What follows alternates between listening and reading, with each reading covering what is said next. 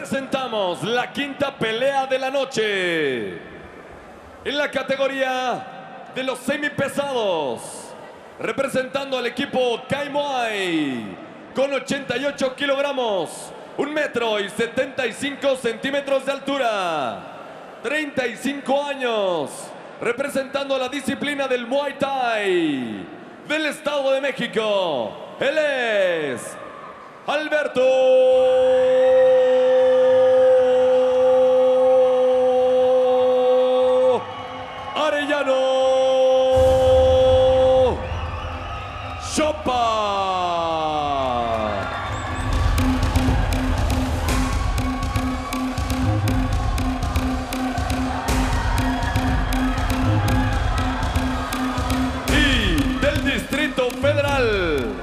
representando al equipo de los Grapples from the Hell, con 89 kilos y 800 gramos, con un metro y 75 centímetros de altura, 35 años, representando a la disciplina del kickboxing y el jiu-jitsu. Él es Alberto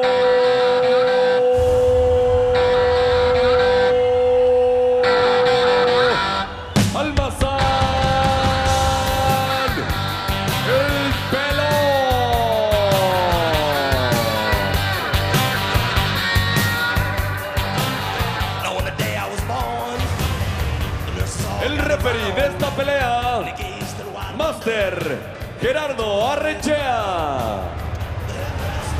Bueno compañeros, pues este es el combate definitivo de la competencia por equipos. Dos victorias para los discípulos de Adán Vega, dos victorias para los discípulos de René Diosdado. Y en la categoría de peso incompleto, muy complicada por supuesto, Rodrigo, se va a definir quién gana la competencia por equipos. Así es, como bien menciona, pero muy pareja, 35 años de edad. Uno es su debut, el otro tiene opción a perdida.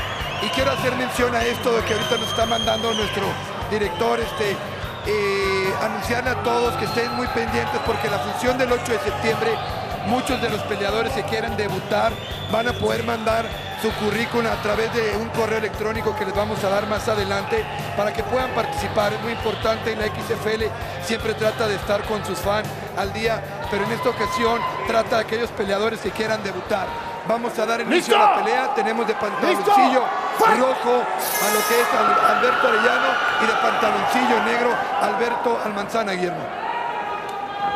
Y vamos a ver qué, qué proponen estos dos peleadores ya de peso mucho mayor, dentro de los 83 hasta 89. Y Edgar, un golpe de estos, tú que bien conoces los deportes de contacto, puede ser Definitivo. inédito.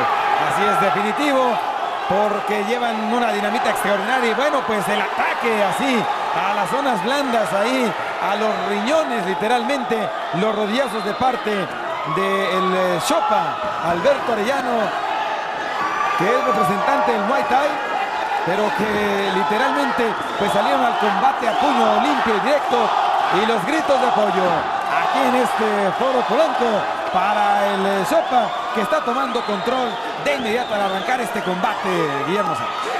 Sí, aquí una avalancha de golpes.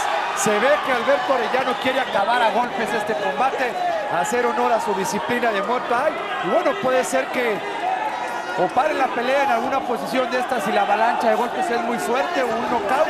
También Alberto Almanza ha estado tranquilo, prácticamente este, pues, resistiendo, esperando el momento adecuado para invertir la posición. Y no dejen de seguirnos a través de Facebook, Extreme Fire Latino, YouTube también, Extreme Fire Latino y todas las redes sociales. Twitter también salió hace unos momentos, Extreme Latino, para que nos sigan en Twitter a todos los seguidores.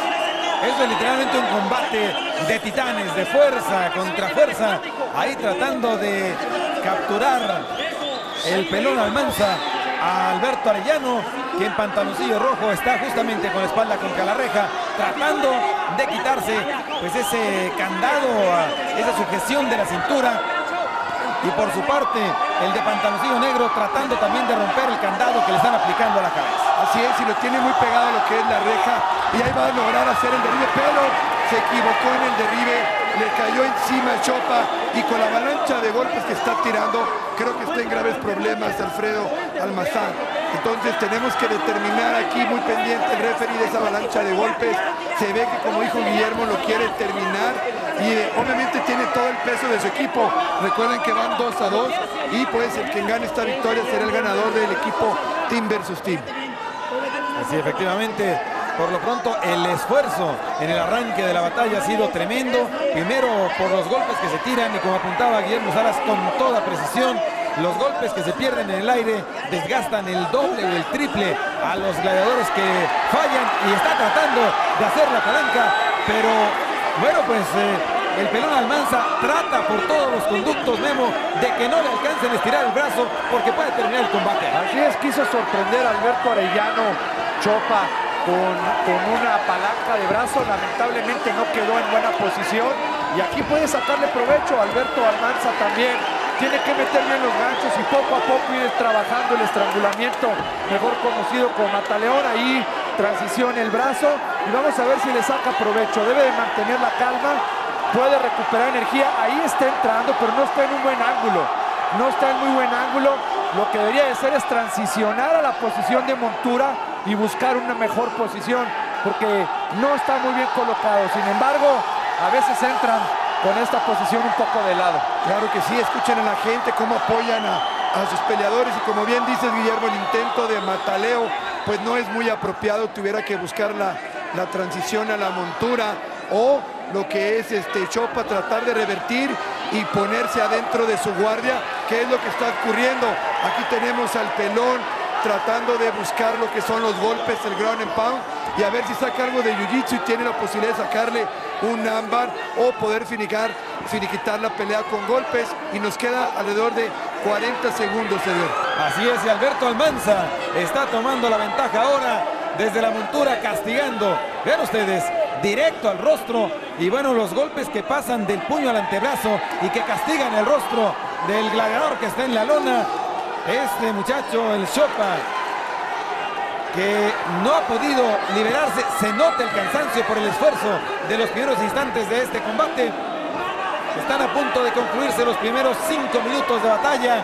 Y bueno, pues eh, perfilándose hasta el momento en pantaloncillo negro el pilón Almanza, el discípulo de René Diosdado, que ahí está llevando a la lona y controlando a su oponente. Y yo creo que Lo va a salvar campana, la campana, así va a llegar en su auxilio, exactamente. Y lo tienen Rodrigo. en una llave que es la americana y pues que la han estado buscando toda la noche los demás peleadores. Veremos ahorita lo que sería la acción de, del segundo round y pues queremos aprovechar para mandar saludos a Sonora, Puebla, Monterrey, Guadalajara y sobre todo a mucha parte del centro de México que nos van a acompañar Guillermo el sábado en el torneo nacional que organiza lo que es la Federación Nacional de, de Jiu-Jitsu brasileño aquí en México. Así es, no dejen de, acompañarnos este próximo sábado 28 en el plan sexenal y podemos ver aquí en la repetición, vean ese rodillazo, es muy típico de Muay Thai, muy buen clinch. Y aquí probablemente veamos donde se equivoca en el derribe más adelante, bueno no se equivoca, simplemente cuando lo, lo derriba no cae en la posición correcta, muy un inicio Edgar muy explosivo, lleno de golpes, realmente pensé que en este round se podía acabar por algún knockout, pero bueno, es la magia de estos gladiadores que resisten y van, van cambiando su estrategia conforme se va desarrollando el combate. Sí, en la medida que encuentran las debilidades, que descubren las debilidades del oponente, es como deciden eh, modificar su estrategia. Así que luego del minuto de descanso, estamos listos para irnos ya al segundo episodio. Son eh, tres episodios de cinco minutos. La verdad es que el desgaste ha sido intenso, impresionante. Y la gente que ha registrado un lleno espectacular aquí en el Foro Polanco, disfrutando de esta primera fecha de la tercera temporada de Extreme Fighters Latino, una gran exclusiva del Stem Sky para ustedes amigos de toda la República Mexicana y la gente que nos ve en otros países. Así que el maestro Gerardo Arrechea dice que suene el timbre, vámonos al combate, segundo episodio. Y Rodrigo, pues esto puede ser cuestión de tiempo por el intenso castigo al que se han sometido ambos peleadores. Eso es muy cierto, Edgar. Obviamente, en los cinco minutos anteriores del round, cuando estás tirando mucho golpes, mucho cansancio físico, y vamos a ver de qué manera los dos peleadores, ahí podemos ver un foul, ¿eh? Ahí pudimos ver cómo se le fue una patada, pero bueno, seguimos peleando. Tenemos aquí a lo que es este el pelón, cómo está intercambiando golpes. Muy importante el cansancio de los peleadores. Si no logran someter uno al otro, esto se va a llevar a lo que puede ser knockout y no van a poder estar bloqueando la avalancha de golpes. No han intentado llevar a ninguno de los dos al piso, entonces puede ser que eh, termine en lo que sería un pleito de pie. Es que en combate de pie, eh, Memo Salas, en combate de pie, el Muay Thai y el kickboxing se neutralizan. Es una realidad. Es solamente la diferencia entre saber llegar, aproximarte y, alcanzar a meter las rodillas, lo que puede marcar la diferencia, pero siguen de pie en el intercambio, pues, literalmente golpe por golpe. Ya muy cansados, vemos cómo bajan las manos. Esto probablemente se termine en este round. Ir al piso, que no lo crean, les permite descansar, tomar aire, porque pueden hacer un poquito más lenta la pelea. Pero sí, ya de pie era muy difícil. Vamos a ver si saca provecho eh, el pelón de esta posición. Está invirtiendo la posición eh, Chopa Alberto Arellano. Y vamos a ver si aquí el que tenga mejor resistencia, esto ya incluso puede ser no de técnica, mi querísimo Edgar, sino de quién tiene más resistencia, porque ya, ya no se aprecia ningún golpe pues estéticamente técnico. Sí, claro, y es que estamos hablando justamente de literalmente la antesala de los mastodontes. Es la división de pesos semicompleto y el eh, registro que tenemos 88 y 90 kilos literalmente de Alberto Almanza. Es de verdad demasiado, el desgaste es impresionante. El intercambio de golpes que tuvieron al arranque de este episodio le dio un tono de emotividad y ahora Alberto Arellano Chopa está tratando de tomar ventaja, pero no consiguió pues eh, mantener la montura de manera correcta, consigue liberarse el pelón Almanza y bueno pues eh, definitivamente esto va a ir perdiendo un poquito lo estético como decía Memo Rodríguez. Así es, obviamente lo que implica estar tirando golpes, uno se cansa, la condición de los peleadores y se vuelve una pelea, a lo mejor para la gente la puede ver lenta, pero prácticamente es los gladiadores, el cansancio físico de tanto intercambiar golpes. Hemos visto ahorita estos dos peleadores en dos posiciones, uno de espaldas y otro montado, y no han podido buscar una técnica por el cansancio. Vemos, este, como decía, la, toma espectacular del camarógrafo de aquí del XFL que nos permite estar desde las alturas viendo lo que sería estar arriba de los peleadores y vemos las caras cómo no pueden estar buscando un bloqueo o salir de la posición y esto nos da un realismo a todos nosotros de ver lo que es estar adentro del octágono. Claro, las artes marciales mixtas que tienen una exigencia física muy importante. Ahí buscando hacer un candado, no lo hizo.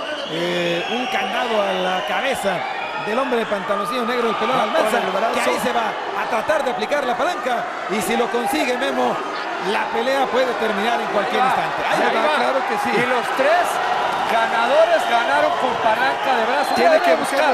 Ya ni siquiera la está defendiendo, ya no la defiende. Está y ahí está. cansado.